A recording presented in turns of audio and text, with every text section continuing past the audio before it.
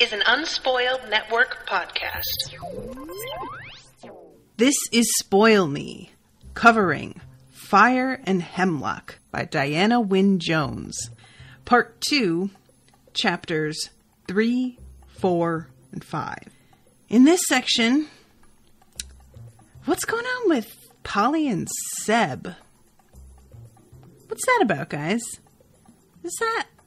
Is this what I think it's. It is?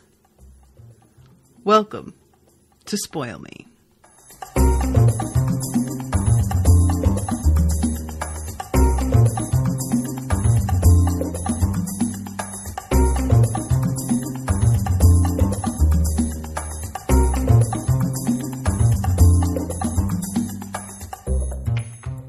Welcome to the show, everybody. I am Natasha, and thank you again very much to Patricia for commissioning this episode. Uh, Patricia, I believe that I during the live re- or the live uh, broadcast last time called you Priscilla at one point. My apologies, um, but I corrected it when I edited the recording. I was just like, oh god. Um, so yeah, it's Patricia. Everybody, just to clarify, and. Uh, yeah, this section of this book was a lot like everything is so much more slow moving than I expected with the story, and I do not mean that in a bad way. Usually, when I say those words, I do mean it as like a negative, but that's definitely not the case here. I'm actually kind of pleasantly surprised that something that is paced as slowly and deliberately as this book is manages to fully keep my attention the way that it does. That's a tough thing to accomplish and it's something that, you know, there are times where something can be slow paced and you're able to like focus and it's still got your attention, but there's a part of you that's going, you know, this all better pay off. And I don't even feel that way about it. I feel like the the deliberate pacing is the payoff. Like this is part of how this story is supposed to work.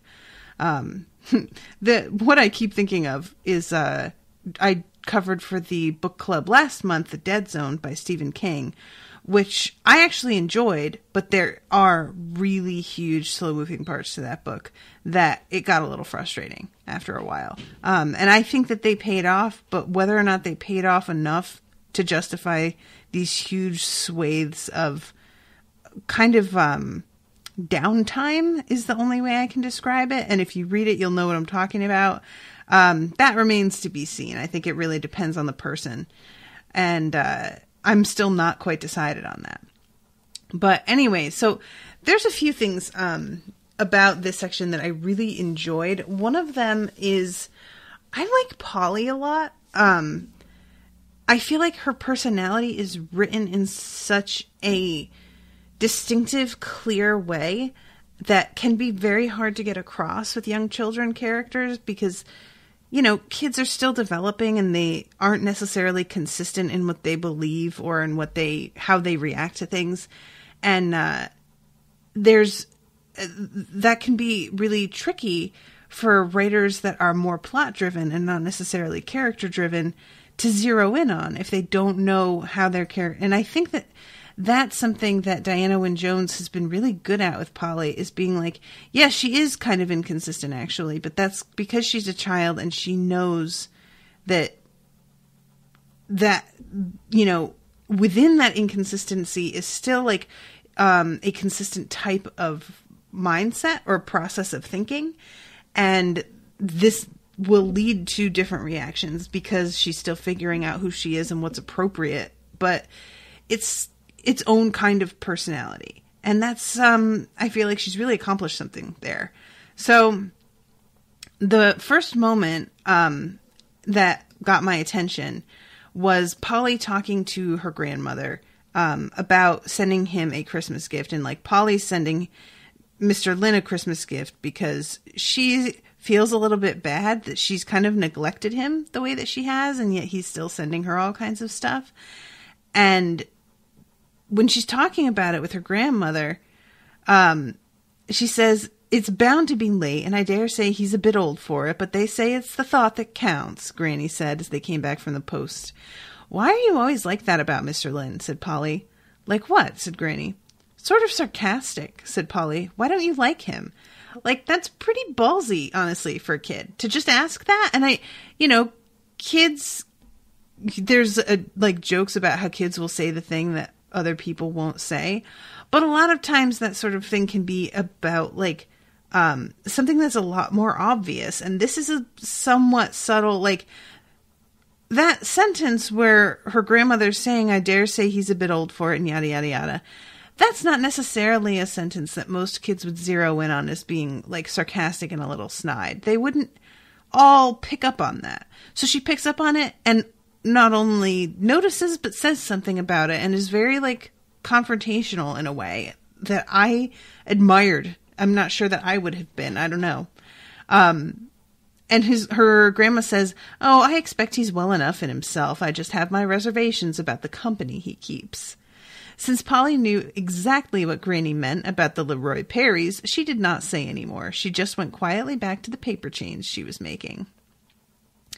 So it's Christmas time now, and Dad comes to stay with Grandma, and there's like a kind of heartwarming scene where, despite Polly's dad not being a real great father, he is like making an effort here at least, and it's something that's very sweet to read.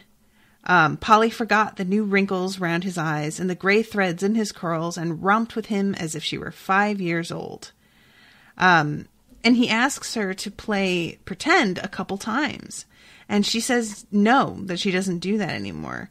And it's really clearly because of a combination of her. Now she shares that with Mr. Lynn. She kind of replaced her dad in that respect, which is an odd feeling to realize you've done that when the person you used to do something with asks you to do it and you're like, oh no, that's not yours anymore. Um, and also because there's an association, I think, in her head between pretend, playing pretend and the fire and hemlock picture, which I think is a valid association. I still don't know what that association is or how that makes sense or how it works but I understand why it's there in her head, and I do not blame her for it at all. Um, and the conversation that she overheard while she had snuck into the house, she just like kind of forces herself to not think about it because the whole situation was so strange combination of what they were talking about and she her not really understanding the extent of that but also the fact that you know she could clearly hear them and yet there was nobody there that's a really, I mean, I don't think a lot of us would go out of our way to think about that too much if we could help it because it's creepy.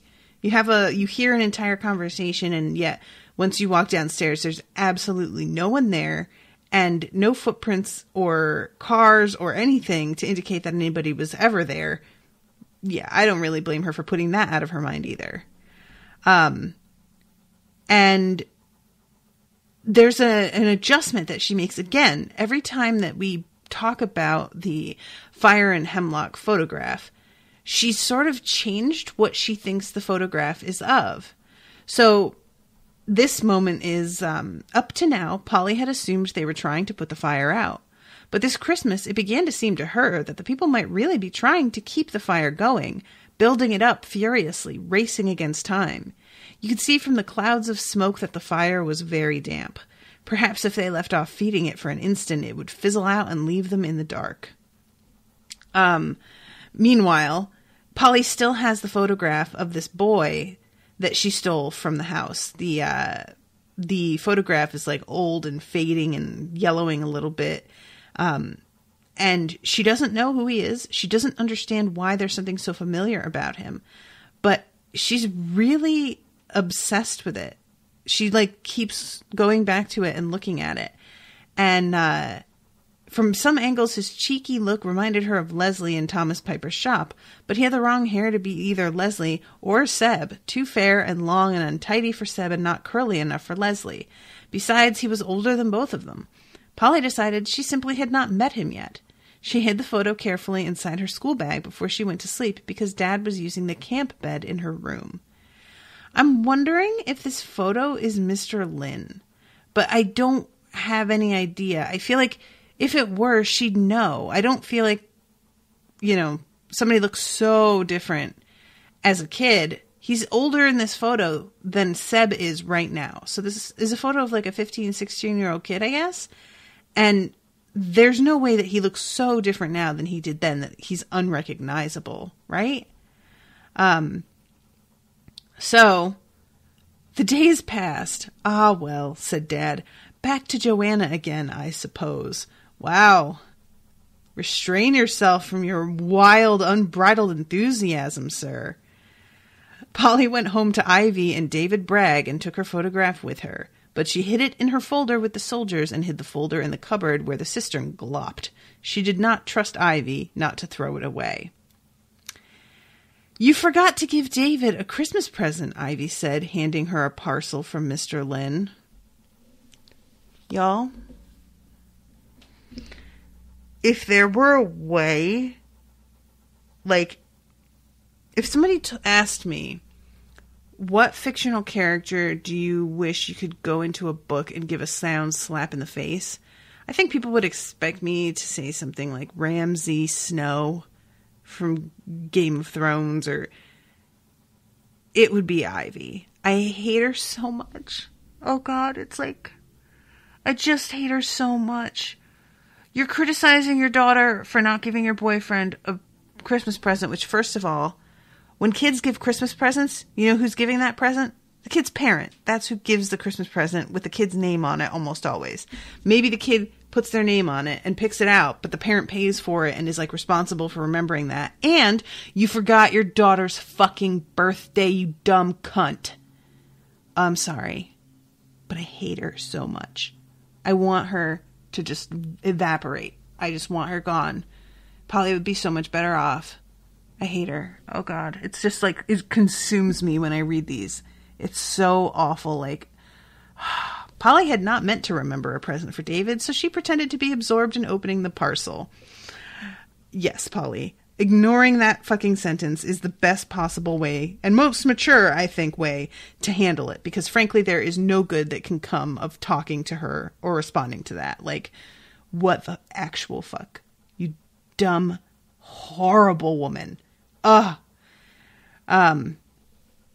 So, yeah. Polly supposed King Arthur was all right, but fairy stories. Still, she was sure, without wanting to think of Mr. Leroy, that Mr. Lynn had things on his mind, and she tried not to blame him.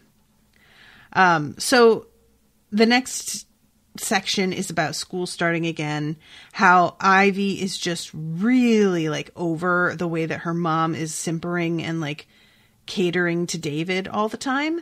And I wasn't sure what we were supposed to think of David for a minute here because he's not really part of the story. It's all about Ivy and the way that Polly is perceiving Ivy.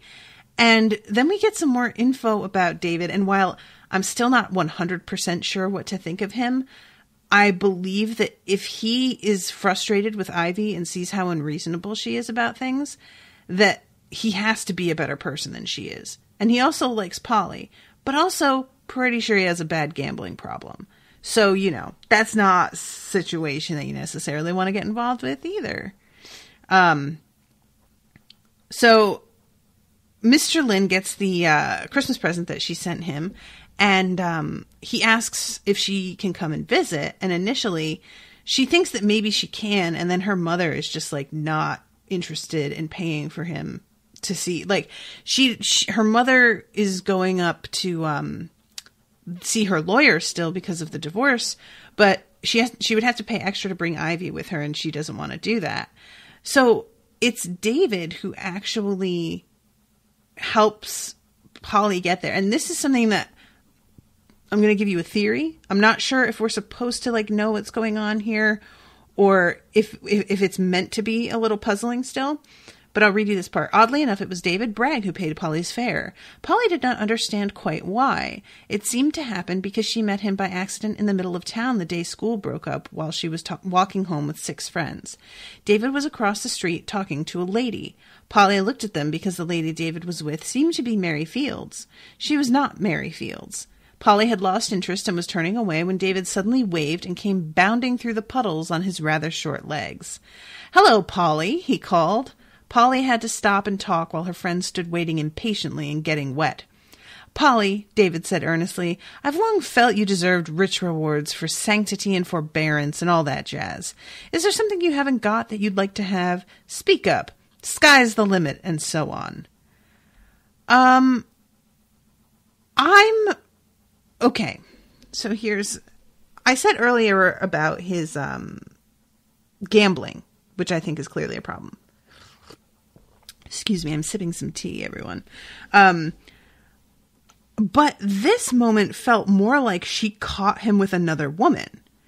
However, I have a hard time believing this dude would be that careless to be like hanging out with another woman in a suspicious manner, like right out on the street where kids can walk by and see. Maybe. I mean, you know, people don't always like think things through and make good decisions, it that just seems like such an easy way to get caught. Um, and there's no like description of the the body language of him and this woman Mary that he's talking to. Um, but the way that he says you deserve rewards for sanctity and forbearance does make it sound like I'm giving you money to keep you quiet. So I'm like, is it that is this person that he's talking to, even though it's a woman and the first thing that you think is that he's having some kind of affair, maybe she's somebody involved with the gambling as well. You know, I don't know. Um, maybe somebody that he owes, but he put an envelope full of pound notes into Polly's hand that night. And uh, Polly had a vague feeling he expecting something in return, if only she could understand what it might be, but she did not let ignorance stop her taking the envelope. Yeah, good for you, girl. Get it. Get it. But yeah, I assume I like I feel like he's just wanting her to not say anything.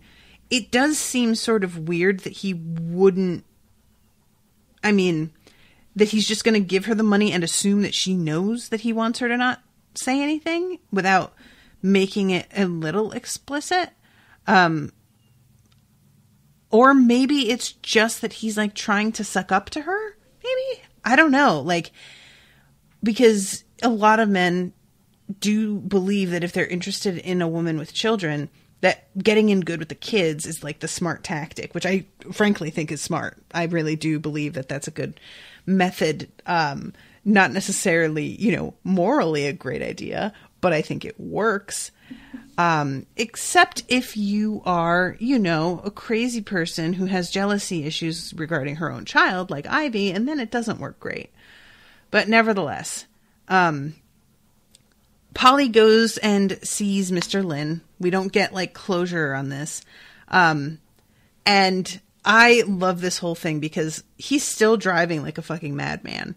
And there's this moment of, uh, they shot into traffic, squealing on two left wheels, cut in front of a bus, tipped a cyclist neatly into the gutter, and dived between two taxis through a gap that would have been small for the cyclist. But the taxi drivers knew a hero when they saw one and sheered off, honking their horns. I bet they just do. Um, so they, uh, let's see. Oh, do you get killed often? Polly said. Old heroes never die, said Mr. Lynn. But I do rather surprisingly often drive the wrong way up one way streets. I think I am now. Uh, so this is when Polly asks him if he was in Middleton at Christmas. And he's really surprised and is like, no, I mean, if I'd have been over there, I would have said, like, stopped by and taken you out or done something with you. And she's like, well, I was at the, I was staying at Granny's and I thought I saw you, Polly said carefully. Mm hmm. I'll just bet you were careful about it, Polly. I can't be like, I broke into the house and I swore you were walking around.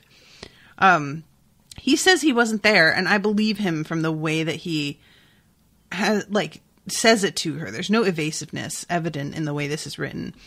Um, did you see Mr. Leroy at all? Polly asked. I thought I saw him too. I did run into him just before Christmas. Yes, Mr. Lynn said carefully and with just a touch of grimness. It reminded Polly of the way da- Dad talked about David Bragg, and he changed the subject by asking about her stay at Granny's.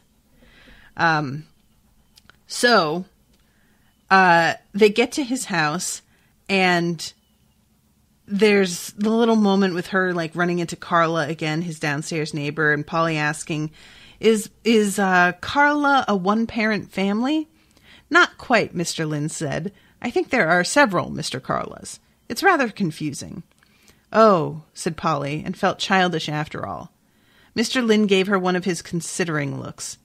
People are strange, he said. Usually they're much stranger than you think. Start from there, and you'll never be unpleasantly surprised. Yeah. I think that's a pretty valid way to go through life, to be honest.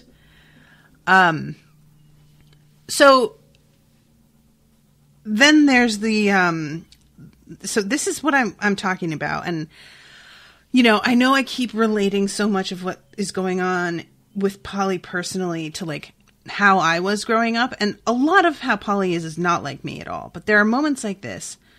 Um, he was behaving cheerfully enough, but he was not happy. She knew the signs from Ivy. There was a sort of effort going into his cheerful remarks. She could feel the pushes. She decided not to say anything about it. She knew how useless it was with Ivy when she was in a mood. But Mr. Lynn was not Ivy. Without intending to, she said, What's the matter? Are you very miserable? I really like this a lot. And this is actually something that um, I was just talking to my therapist about yesterday. Um, as if you are somebody who is empathetic and is good at reading people, which I tend to be, um, I was good at it even as a child, although I wasn't always able to interpret what I was picking up the same way, of course, as I am now.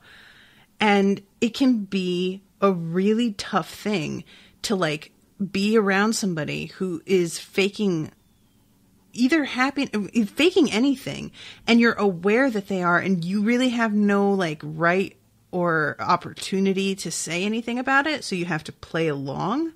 It's a strange feeling and it's it's strange when you're an adult as well but you grow used to it because it happens so often throughout life that by the time you're a grown up you're like yeah there are just going to be times where you have to fake it and that's just life and whatever and you are able to do that much more easily.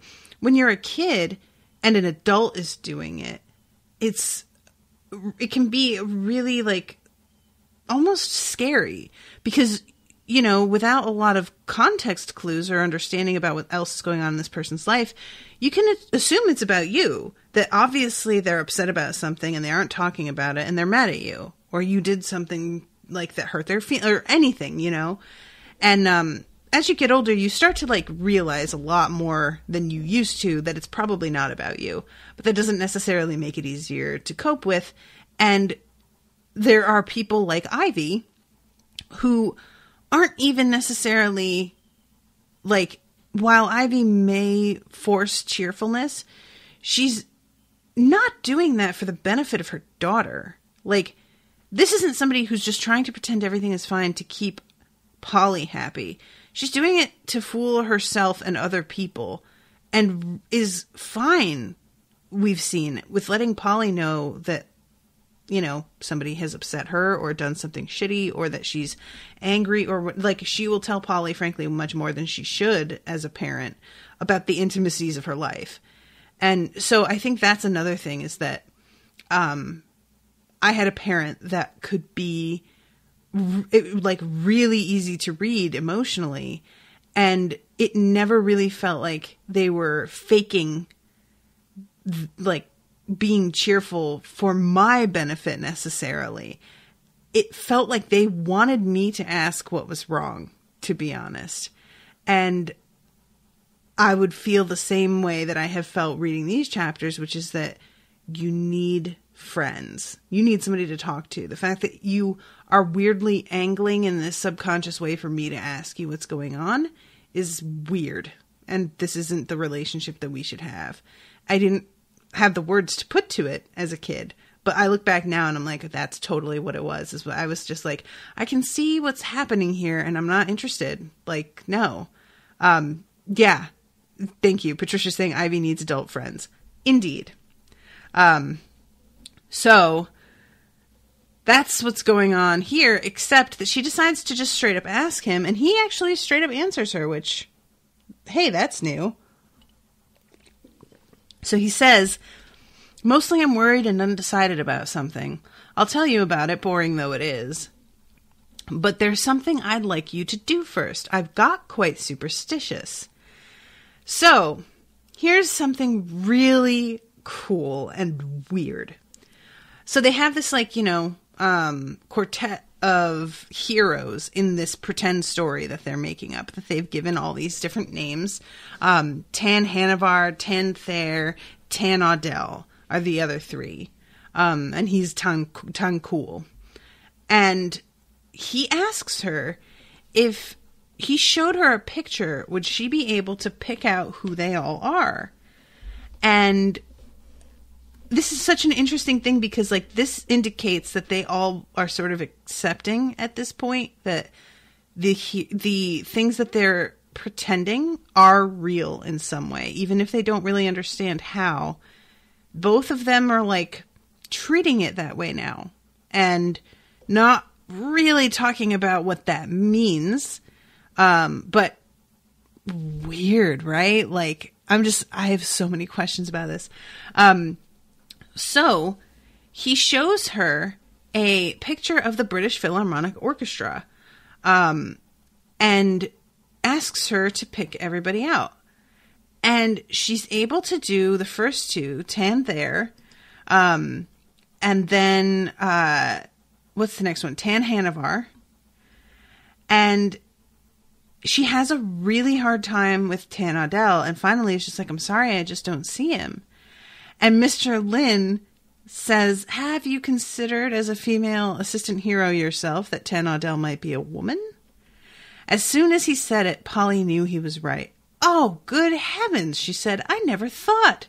Of course, Tan Audel was a woman now, she thought. She even knew dimly some of the things Audel, Tan Audel was famous for. She went back to the photograph, scanning the ladies in dark dresses she had been ignoring up to then, very much ashamed of herself and there was Tan Audel at last. I really like that moment because that is something that like, you know, internalized misogyny and like um just in gender roles or ideas about gender and you know just generalized sexism that you've been uh, socialized to believe is a very tough thing to shake even if you are somebody who is brought up in a, a pretty good situation. Like my mother was super feminist and I still, you know, that riddle where it's like a boy comes in uh, to surgery after being in a terrible car accident, and the doctor says, I can't operate on him. That's my son. But the father is standing right there. If that's his father, then who's the doctor? And it's like this really simple riddle. The doctor is his mother. But the the trick about it is that a lot of people are like, I don't know, who is the doctor? That doesn't make sense because we assume doctors are men. There's no gender description of the doctor. We just use the word the doctor, and the immediate image we get is of a man. And I remember somebody like reading that riddle to me. I think I was like 11 or 12 years old.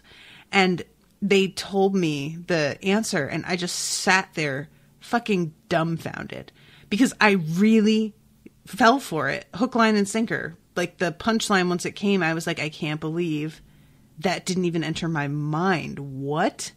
Um, and it's just, you know, there are little moments throughout life like that that you like realize all of the preconceived notions and prejudices that you have that you don't think are there. And, and then something will happen that throws it into such sharp relief. There's absolutely no denying that it's there, but you really thought that you were better than that. And uh, I really like this moment with Polly where she's just like, oh my God, of course it's a, what the fuck is the matter with me? Like, that's very relatable. So she picks out the woman, um, a uh, strong, squarish face with strong, square black hair. Tan Audel was not pretty, but she looked nice. Mr. Lynn leaped up with a shout. Anne Abraham, you've done it, Polly. You truly did it. I can hardly believe it. So he tells her that he's been thinking about starting a group that's oh, like not part of the Philharmonic. He's getting a little bit tired of doing the Philharmonic and traveling and all of this stuff quite as much as they do. And he wanted to start a group and he wasn't sure who he should pick to do it with him. And he knew that it was going to be tough and it's a huge risk because it's not like you can leave the London Philharmonic and if it doesn't work out, you just come back. Like there are a hundred people playing, like playing the instrument you play, waiting in the wings to be put in the spot that you vacate. And, um, it's just an enormous risk that you take that you leave and you don't have anything like the kind of success that you had with a steady job with the Philharmonic and you rue the day you ever made such a stupid decision. And he had been sort of banking on whether or not Polly was able to pick them out of this picture. That if she didn't, he would tell himself that it wasn't really worth the risk and they wouldn't do it. They wouldn't break off. But she picked them all out. And uh, he feels now that it's a combo of like, I'm really excited because this do you doing this makes me feel like it's totally meant to be, but also I was scared enough that if you hadn't picked the right people, I would have been a tiny bit relieved to not have to take this risk, which I totally get. Um, and then here's the thing. He, uh, if we wanted to form a proper quartet, we're going to have to leave the orchestra and try. But it's also possible we'll end up busking in the underground a year from now. I thought I'd sell another picture. I thought it must be a reproduction or at least a copy but it turns out to be a real Picasso, pink and blue clown picture. He added, sounding unhappy, It's not money, though. It's, well, are we good enough to foist ourselves on the public? That made Polly turn back. Granny says the only way to find out is to try, she said. I say that too, she added, thinking about it. Um, so yeah, I really like this. Like, what a strange, and I'm hoping that Polly gets to meet all of these people. Um, although there is a wrench thrown in his plans by Mr. Leroy a little bit later. Um, the rest of the day was a great golden excitement to Polly. She had never been anywhere much in London, so it was all new and wonderful to her. Whether she was in the horse car screaming round and round the roundabout in front of Buckingham Palace because Mr. Lynn kept missing the road they wanted, or heroically belting along the embankment, or looking at the crown jewels in the tower, or eating kebab somewhere beyond that. Now Mr. Lynn was happy again. They talked and talked the whole time, but Polly only remembered snatches of what they said. She remembered being in front of the Houses of Parliament eating a hot dog. She looked up at Big Ben and said suddenly, Tan Coul and the others have to be on a quest for something. Do you insist? said Mr. Lynn. Yes, said Polly. All the best heroes are. Very well, said Mr. Lynn. What are we looking for? Polly replied promptly, An obosopt. But when Mr. Lynn questioned her, she had not the least idea what an obosopt could be. I don't know either, guys. It sounds Egyptian. I feel like it's like, a, you know, what are those canopic jars filled with somebody's brains? um, I guess the brains were thrown away, huh? They kept the heart, but not the brains. Um, but yeah, I have no idea what that is. So this is something that they keep like going back and forth with, like asking each other, "What do you think it is? Do you have any idea what it is yet?" I think it's got jewels on it. I think it's you know it's a container. Eventually, they do get to that it's a container, um, to, which I think really just validates my whole canopic jar theory. So, FYI, I'm pretty sure I figured this out. Um, Mr. Lynn asked if she had liked the books for he sent for Christmas, and she said, King Arthur's all right. And he says, Oh, so you haven't read the fairy stories? And she doesn't really answer. And he says, Please read them. Only thin, weak thinkers despise fairy stories. Each one has a true, strange fact hidden in it, you know, which you can find if you look. All right, said Polly. Um, that is a way that I do not relate to Polly because I ate up fairy stories as a kid every kind of story, but I really, really loved like, you know, Celtic fairy tales and old legends and stuff. Um, so they're running late to catch her train home, and they're sprinting towards it. Uh, you know, the way you got the car to start is the only peculiar thing that's happened this time. I forgot that that part that it breaks down and he has to like pull over um, kicks it and prods it and just kicks it again, and then finally it gets going. Um, and famous last words he says, and then here comes Mr. Leroy. Um, fucking Mr. Leroy just sounds so awful. Um, he's with Seb, and Seb has grown about a foot since the last time that she saw him and treats her in a different way than he had in the past. And this is the very first indicator we get that maybe Polly looks different too. And this starts to become more of an issue throughout the the next chapters that Seb is treating her with slightly more respect, talking to her in a way that he hadn't talked to her before. And one could say that it's about how she looks. It could also be about the fact that Seb is maturing a little bit, maybe but I tend to think it's probably more the first thing.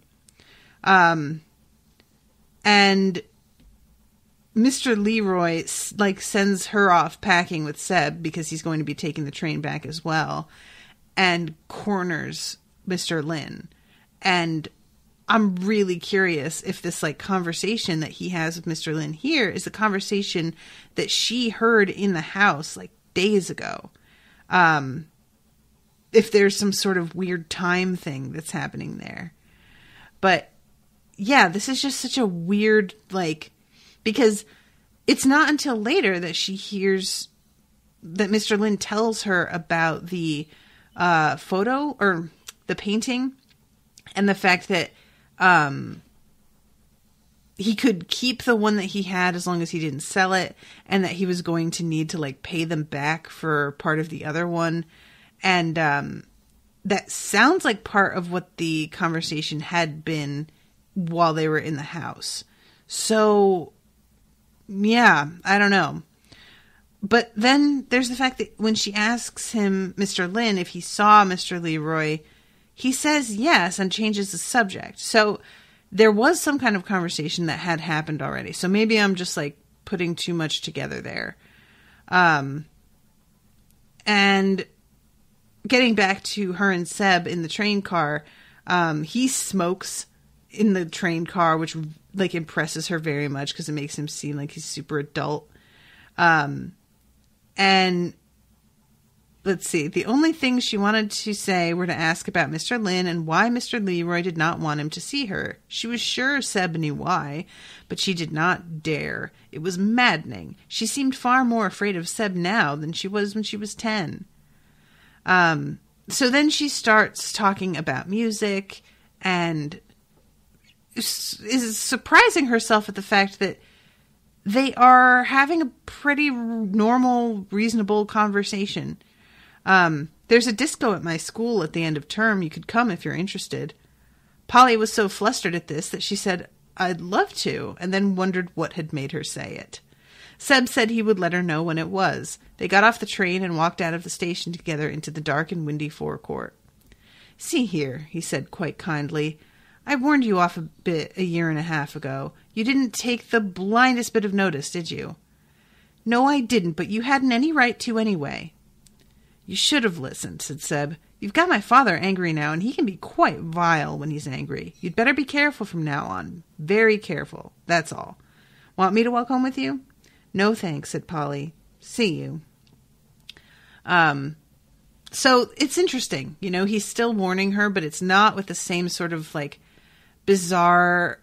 He doesn't feel like last time he warned her, he was standing outside the house staring up at her. Like it was a very weird feeling, like he was his father's like henchman or something.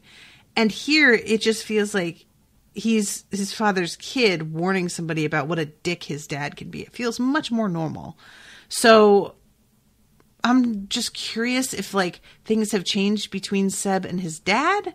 Maybe if you know the fact that he's gotten to because you know how that is. You think everything of your parent, and then as you start to get older, you're like, wait a minute, you're kind of full of shit, and I'm not sure I want to be your BFF anymore and do all of your dirty work and stand outside people's houses threatening and watching them. So it might just be the fact that he's getting older and just like not as easy to manipulate and order around as he used to be. Um, but anyway, so um, Mr. Lynn telephones about a week later, and she can tell that he's upset. And uh, he says, you know, it turns out that it was a Picasso. It seems we somehow got all the wrong ones. They've just found out. Laurel's been on to me and Morton Leroy, and they're trying to trace the one I sold to buy the horse. Of course, I've had to give the Picasso back. Um, and does that mean you won't have any money to start your quartet with? And he says, I'm afraid not. Um, all the pictures, the Chinese horse and the musicians too. I can keep those two on condition I don't sell them, but I've had to give the carnival picture back with the clowns. It's fair enough, it was a mistake. I'm just realizing. So the Chinese horse picture is the picture that they were talking about and then like really looking at before he runs into the horse that had escaped the carnival. Um, the carnival picture with the clowns he has to give back. So that's a carnival picture, which is where the horse escaped from. And then the musician's picture he can keep. And that's the one with musicians, which is what they just went through her choosing people for him to start a quartet with. These are all, how does this work? How does that work? The, all the paintings are related to things that they're actually doing and talking about and like imagining up and oh guys i'm dying here um you're not going to stop doing your quartet not now you've decided you mustn't thank you for saying that said mr lynn that's why i rang really i am going on with it the others have said they'll risk it but it means I'm going to be very occupied for quite some time trying to get people to listen to us, and I'm not going to have time to see you or think of hero business or even write very much. I'm sorry. I see, Polly said miserably. This is a goodbye call. Oh, no, no, no, said Mr. Lynn, but she could see it was, even though he added, By the way, do you think an obosopt is a sort of container of some kind? I see it as a small jeweled phial. A little vase with a lid, said Polly, carved out of one precious stone and worth a king's ransom. It may be. What's in it, though? Something even more valuable, obviously. The water of life? The key to all knowledge? Not quite. I'll work on it, said Polly. Um, so, yeah, Polly hangs up and realizes that this is how Mr. Leroy has gotten his revenge. That managing to get these paintings back has sort of ruined his plans, uh, his being Mr. Lynn's plans, and it has made it so that Mr. Lynn is going to have to pour all of his energy into this quartet, meaning that he won't be able to see Polly anymore the way that he had been. And I'm just dying to know what the fuck is special about Polly that he's trying to keep them apart. Like, who cares? What is the deal here? I have no idea. Um, so yeah, I'm just really, I have no idea. Um, so she starts to read the fairy stories, and she really is not into some of them. Like uh, Cinderella, she finds really annoying. Um, she reads something else. Oh, here it is. The title made her blink and think a bit. East of the sun and west of the moon. It could be a way of saying nowhere, she said aloud, doubtfully. She read it, but she could not find the one true fact Mr. Lynn had assured her would be there. The girl in the story was carried off by a man who was under a spell which made him a bear in the daytime. He warned her never to look at him when he was a man, but she did. Then, of course, he vanished to marry a princess, and she had a terrible job getting him back. Pointless to Polly's mind. The girl had only herself to blame for her troubles. She was told not to do a thing, and she did, and she cried so much. Polly despised her. I love that so much. Listen, I, like I said, I really love fairy stories, but is there anything more frustrating than the inevitable moment in every fairy story where somebody does a thing that they were expressly told not to fucking do? I just Yep. Um, so then we go on to her like weird, uh, and I say weird, it's not weird at all. She got invited to a disco dance, and of course, it's her first dance that she's ever been invited to, and she gets really wrapped up in being able to dance and not making a fool of herself and everything. And it's a shame because she gets like lessons, I'm saying in quotes, from Nina, who has become very into dancing. Um, but it turns out that Seb never actually like gets in touch with her and tells her when it is or asks her to go. So yeah, what's that about? Like did he mean it when he asked her? Did he realize that it was a bad idea? Did his father like tell him you better stay the hell away from that? Like what is going on? Um and Seb still is he okay, so I'm going to read this. Um this made it rather difficult the next time she saw Seb. She kept seeing him from then on, here and there in Middleton, usually walking with tall, high and mighty looking boys from Wilton College. Should she stick her nose in the air and look offended, or smile as if nothing had happened? In fact, Polly did both at once, in a confused way, the first time she passed Seb. Seb replied with a sort of wave and a sort of grin, at which the other boys looked round after her and murmured things. Polly's face went scarlet. So I feel like it's got to be in that moment that they're murmuring things to him like, "Oh, who's this chick?" because she's starting to get cute. But also she's still what at this point like 12? 13 maybe? She's still really young. But that is when things very very very start to happen. Um like the fir- the first moments that I had of guys acting interested, I was 14. And that was the first time that I like really got what was going on. So I'm sure that it was happening earlier and I just didn't really like put it together, which is what seems to be happening with Polly here. So I guess that timing actually makes sense. Um, and then there's a description here of the fact that Polly and Nina are like friends really on and off again, and that they always seem to be off track with each other in terms of their interests lining up. Polly gets interested in discos after Nina's sort of like done with them and starts take like doing tennis. Eventually, Polly gets interested in tennis, but Nina's moved on to ecology.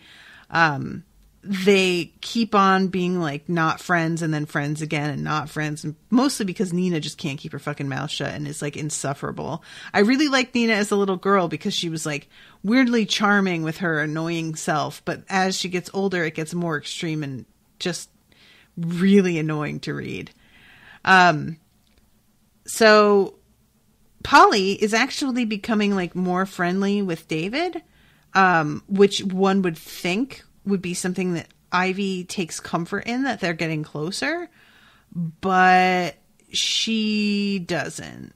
Um, so we'll talk about that in a moment, but first let's talk about the way that David is discussing her to Polly. Um, Polly had come in one day to find David roving around the kitchen like an irritated bear. The woman's a vampire, he said angrily to Polly. What does she want from life? I have to account for all my movements and every half pee these days, or she says I'm being secretive. Dad let her down, Polly explained. She wants to be happy. David, at this, became uneasy and contrite. Shouldn't say things to you about your mother, should I? Except profound regrets and pretend it was never said, right? Yes, but Mum is difficult sometimes, Polly said, when she closes down. Doesn't she just close down, said David. You're a sympathetic wench, Polly, you know? Understanding. And be- and that, because of her being so understanding, David, uh, or after that, because of her being so understanding, David took to handing Polly notes secretly to be delivered to certain Irishmen on her way to school. Mr. O'Keefe was nearly always to be found leaning against the wall of the Rose and Crown. He always took the note with a huge wink and said, Thank you, my darling. Um, so yeah, I'm assuming that this is about bets and stuff because he specifically mentions I have to account for my whereabouts and every half p. So I assume that like money is going away or something. Um, but it could be something totally other, you know? That's just like what my mind went to immediately.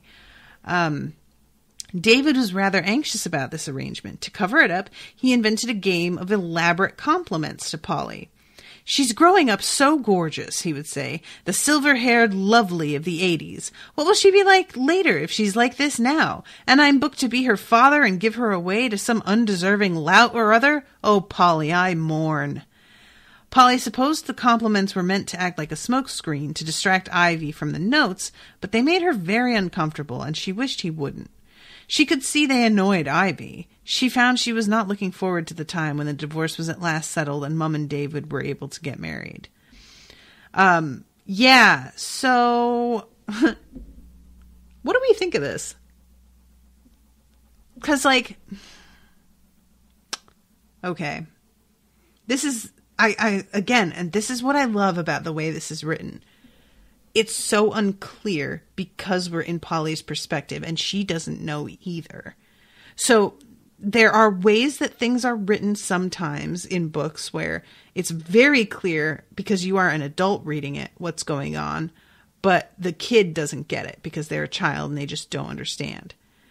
This is written so that it is as unclear to the reader as it is to Polly, which in some ways I frankly prefer because it makes us understand so much better how utterly perplexing this is to her and how it's like, is there something shady going on where he's like into little girls or is he just totally unable to like properly express himself in a way that's appropriate and he doesn't understand how he sounds to her?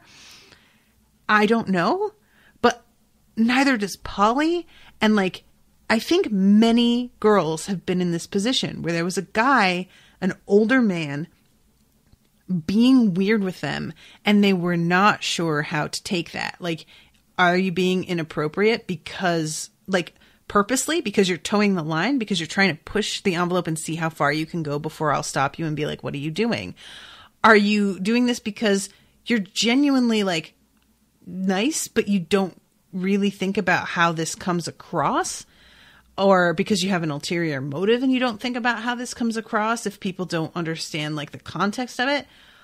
Are you just that clueless? Like that seems unlikely or are you just like kind of gross and just don't know really how to talk to the females of the species and so it always comes out being inappropriate because you just don't know how to be any other way um but the the fact that Ivy starts to get upset by this is not that surprising. Like this is something that I have such mixed feelings on because I don't like Ivy and the fact that she seems to like hold it against um David that he's getting along with Ivy or getting along with Polly initially does seem really self-absorbed and like it needs to be all about me at all times.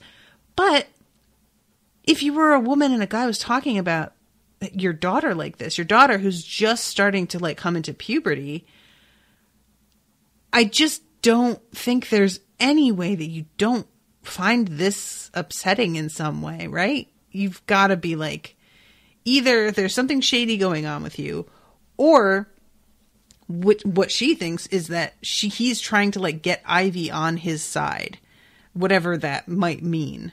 Um, and it's much easier to think that than to think that the guy is like inappropriately interested in your daughter.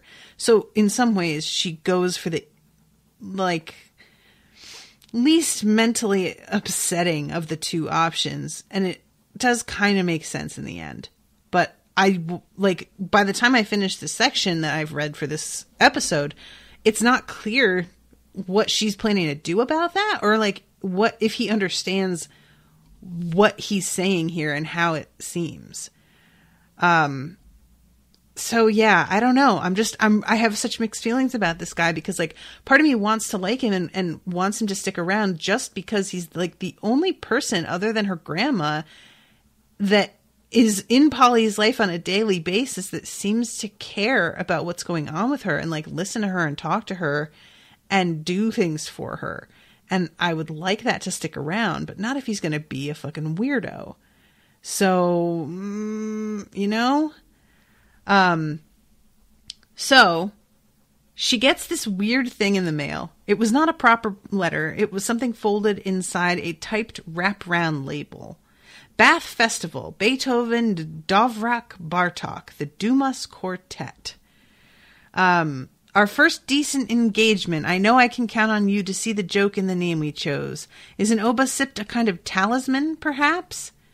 Um, so, yeah. And David, meanwhile, is saying it's a languishing letter from one of her numerous admirers. Eh, Polly? Oh, David, just stop. Um, so she realizes that it's the Dumas Quartet uh, because the n- name of the um, author of the Three Musketeers was Alexander Dumas. Uh, Ale- no, Dumas was in the Three Musketeers. His character. I don't know, guys. Whatever, it's fine. Three Musketeers is not of any interest to me.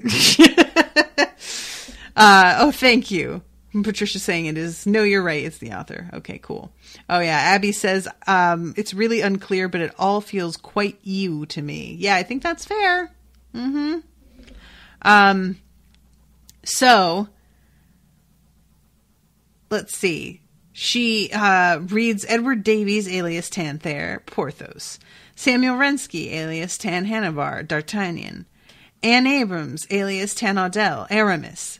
Thomas Lynn, alias Tan Coul. Polly smiled widely. It was a clever way to get round Mr. Leroy. The poster must have gone out in a stack of others so that it did not look like something specially to Polly, and it was interesting to see that Mr. Lynn thought of himself as Arthos, too, even though he had not written it in. Um, so Polly goes and rereads The Three Musketeers again out of uh, respect for the group. And then she starts writing about. I love this so much. She reads The Lord of the Rings and then she writes a story that is basically that the Obosopt was really a ring which was very dangerous and had to be destroyed. Um, yes, this is definitely a phase that we all go through when we are creative people and we're absorbing the amazing creative works of other people. You write the shit that you just read. That's just what happens. You just do that. Like, I can't tell you when the Lord of the Rings movie came out, I was currently in technical theater school at Carnegie Mellon, and we had an assignment where we had to design a set, and I just fucking designed the elf set. The, you know, all of the elven architecture with like the long curving lines and and pointed archways and things that were really like elegant and slender like drawn out.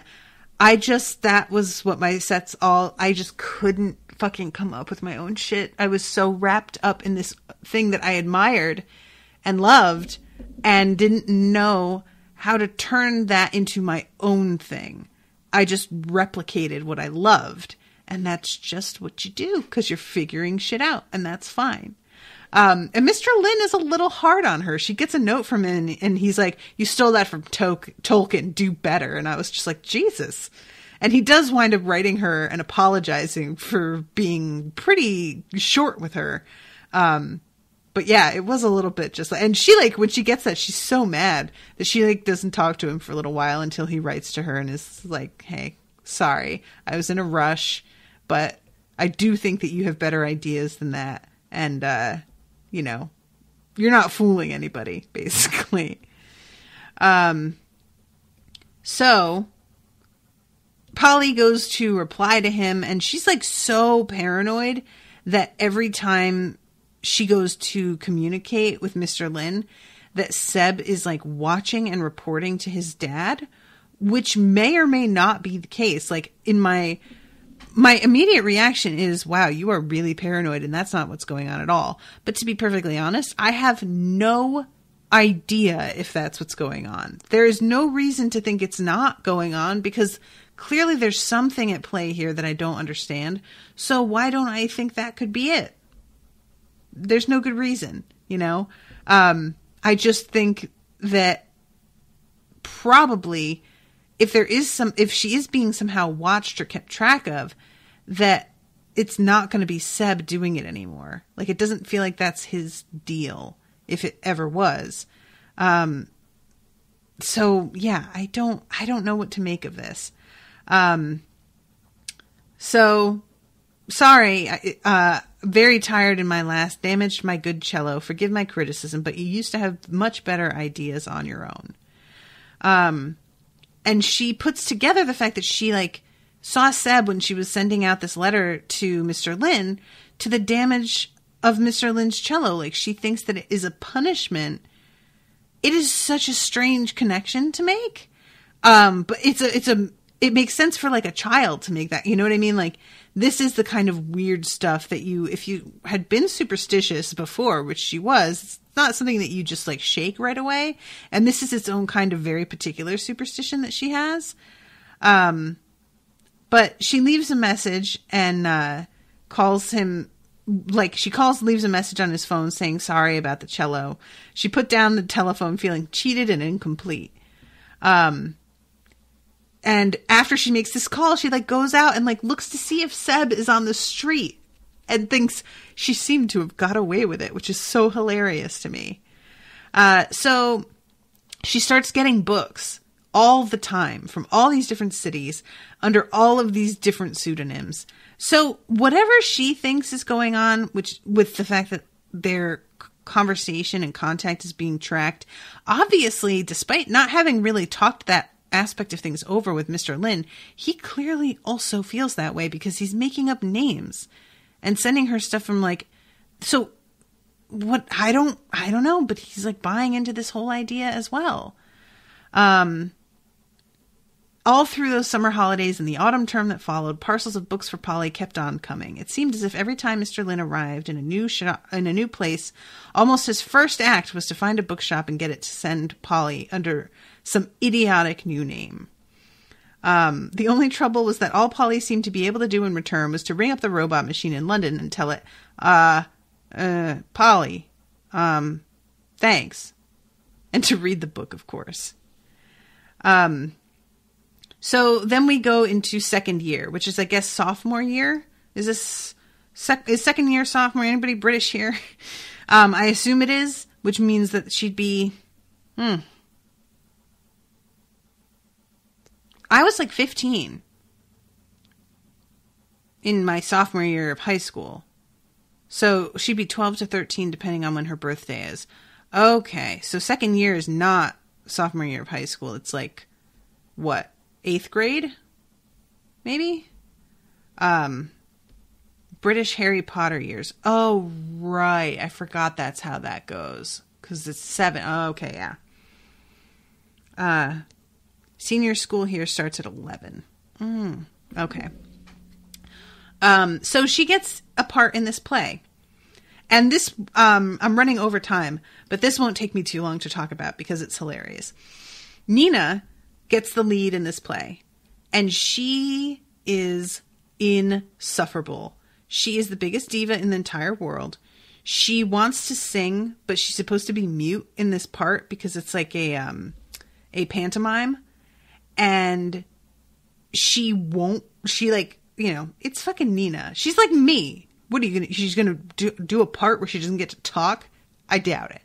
So she decides that she's going to make up a song and then just fucking sing it before he can stop her, which is amazing. And I kind of wish she had gotten to do that because I want to see her just humiliate herself. Um, but everybody's like, oh, you would never do that. Come on. And she's like, oh, yes, I will. And she decides that she's going to balance a chair on a desk and stand on it and sing and like show off and the fucking thing comes crashing down and she breaks the project that she falls on. She breaks her glasses and she sprang her, sprains her ankle. Mr. Herring seized the opportunity to get rid of Nina. The show must go on, he said gleefully, and he made Polly Pierrot instead. Pierrot? Pierrot. Pierrot? I don't know how to say this name. Um, and Nina joins the chorus of clou- clowns where she annoyed Mr. Herring considerably by calling advice to Polly all the time. Polly herself is actually having a pretty good time doing this.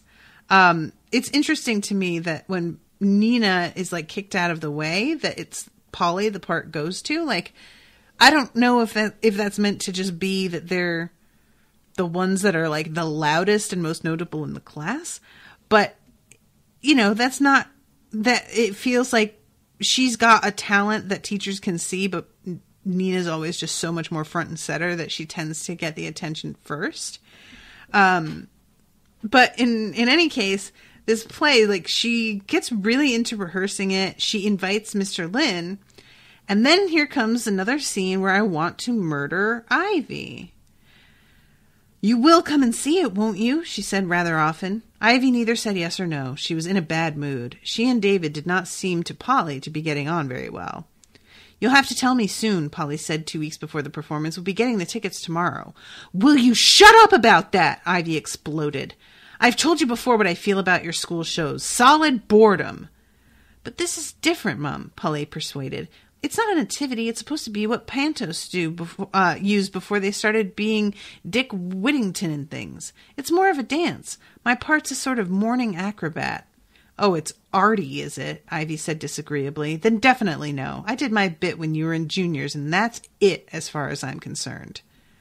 Come on, Ivy. Where's the old esprit de corps? David intervened. It won't hurt to go. You keep out of this, said Ivy.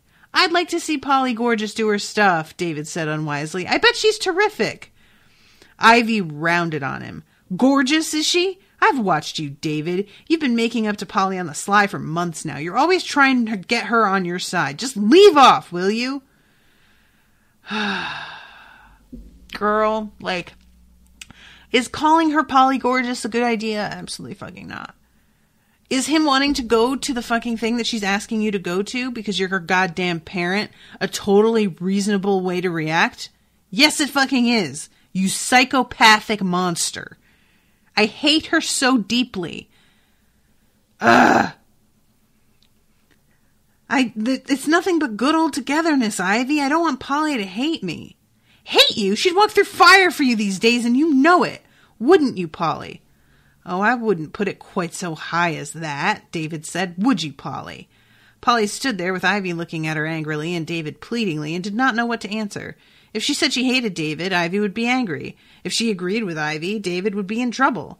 He's all right, she said. But what about the pantomime, Mum? Don't change the subject, said Ivy. Hear that, David? All right, she said. When Polly says a thing like that, she means it. I know, Polly. You've got her eating out of your hand, and I'm not having it. That Polly was annoyed at having her careful answer made to mean the wrong thing. That's not what I meant, she said. You don't know what goes on in my mind. Nobody does. Yes, I do, said Ivy. Better scarpered, Paul, David said warningly. That's it. Advise my daughter what to do, Ivy said. Polly took David's advice and went upstairs to do her homework. Um, so eventually Ivy comes in and s- says that uh, David's been quite honest with me and we've settled to go away for a bit together to get to know one another again. I've rung Granny and she says she'll have you till we get back. Would you mind terribly? We'll be back before Christmas, promise. That meant they were not coming to the pantomime. Polly moved her shoulders against the cistern cupboard and sighed. That'll be fine, Mum, she said nobly. Have a good time. I knew you'd say that, Ivy said, which made Polly feel rather low. She would have liked Ivy to notice how noble she was being. Yo! That's a word right there. That's the thing. That right there is the thing that gets to me. Is that when you are constantly putting other people first and trying to be understanding and trying to like, then they just start to expect you to do that and it's totally unappreciated. That one got me a little bit, guys. I'm not going to cry, but I kind of want to. Just saying. Um, so to wrap this section up, the first uh, performance where Polly uh, gets her grandma to come does not go well. It's hilarious, actually. Like everybody's missing their cues. People's costumes are tearing. One of the girls who's playing the uh, song that Polly is supposed to dance to, uh, she she's playing it wrong and then like bursts into tears.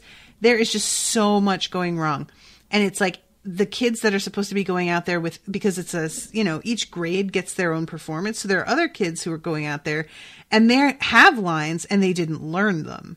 So they go out there and humiliate themselves. The lights go out a few times. Like everything is just, it's fucking a disaster. And finally, um, hilarious. I just, it's so funny. Finally, uh, everybody is like so ashamed of themselves that they decide that they're going to do better the next day because it was just humiliating. It was too much. They couldn't like. There's a there's a fine line between well, I don't care, whatever. I'm not going to put in any effort because putting in effort isn't cool, and just outright ruining everything for yourself and others. And they all seem to realize that they've found that line and they went over it, and it's time to go back. Um, so the next night, which is the one where Mr. Lynn actually shows up, um, she does amazing. Like everything goes according to plan. She goes out there and performs her whole thing with like no problem. I'm just realizing now that the painting that he had to give back was of a sad clown. Oh my god, guys, how did I not notice that? And she's playing a sad clown right now. Guys. Guys. How did I? Oh my god, I'm so dumb. I can't believe I didn't see that. Hello, Earth to Natasha. Anyone in there, McFly? Um. Oh man. I, and I, you know what else I love too is that after the really bad performance when she goes home and she says to grandma like wasn't that awful and grandma's just like it was so so actually it was kind of fun it's fine um but oh man i can't believe i didn't notice that so everything goes really well she does super awesome and uh afterwards she goes outside and fucking mr lynn came with mary and i'm like oh fuck i didn't really want to believe that him and her were that serious about it but Frankly, Mary said to Polly, I wasn't too keen when Tom insisted on coming all this way. You know the way he drives, but it was worth the sacrifice, really. Ah. Uh, thanks, Polly said. She did not like Mary Fields, and she could tell Mary still did not like her, but she could tell Mary was truly meaning to be generous. She smiled warmly at her and felt the white makeup on her face crinkle. Um, so, yeah. This is like kind of a nice moment, but also a little awkward because of Mary being there. Good night, Pierrot. You were splendid, but we have to go see you. Polly stood back while the horse car started with a snarl. Um, so there's something about the way that he's just like, you know, that was really good, but we got to go. I'm just like, what's going on here? Is he like worried that he's being watched himself being there? I don't know. I'm just curious about it. Um, so she heads home and fucking Mr. Leroy follows her home and, like, basically threatens her. Um, you keep in- ignoring warnings, don't you, little girl? Um, Laurel, my wife, is a rather special person. What's hers is hers for keeps. So, to put it bluntly, keep your thieving hands off, little girl. This is the last warning you'll get. What about Mary Fields? Do you give her warnings too? Mary Fields hasn't been inside Hunsdon House or taken anything away from there. Polly knew then that Mr. Leroy knew all about the fire and Hemlock picture and maybe about the stolen photograph too. Um, and finally, she's she's like really getting in his face. Like, you have no right to say this to me. You don't own me. You don't own Laurel. Like, or Laurel doesn't own anybody either. Do you truly think that pendant you wear is going to keep you safe? It won't. I got its measure a while back. Now will you heed my warnings? Oh, snippity snap. The fucking pendant Polly's grandma gave her is somehow protecting her from some shit, and Polly's grandma doesn't approve of Mr. Lynn's friends, and Polly's grandma totally gave her that pendant on purpose, knowing that there was some shit going on and intending it to protect her. Like, she knows something it's very helpful, right? That I can say that she knows something, and that's as much as I've got. Um, uh, will you heed my warning? No, said Polly. In that case, you'll regret it. You haven't even begun to see what can happen to you yet. You're very young. You've got angry and decided to be defiant. Change your mind. Or perhaps you don't understand. No, you don't understand, do you? Then make me understand. You say what it's all about. All right, said Mr. Leroy. We're talking about Thomas Lynn. For the third time, will you do as you have been told? No, I told you no, and I mean no. Um, so she's got more balls than I expected.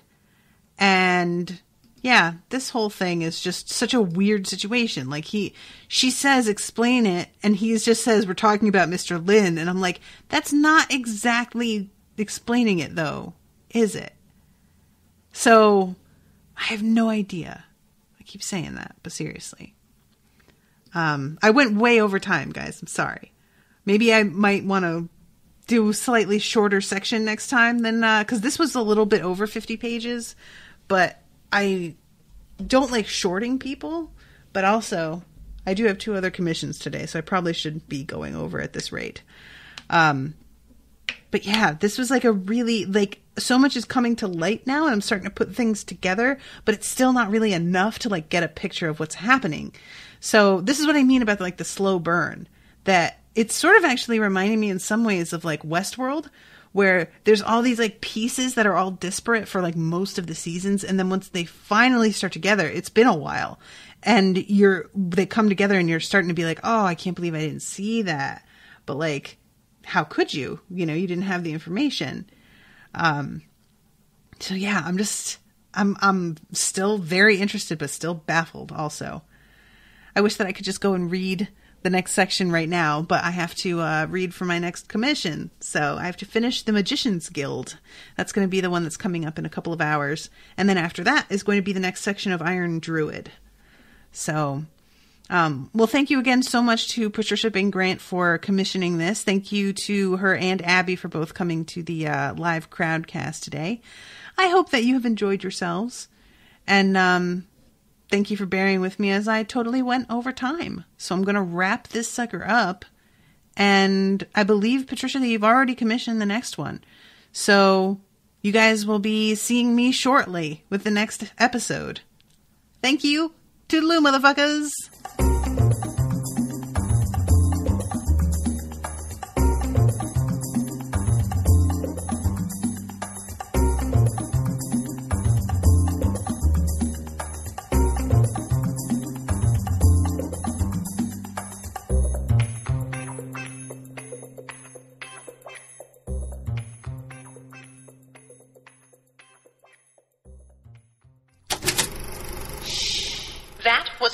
Unspoiled Network podcast.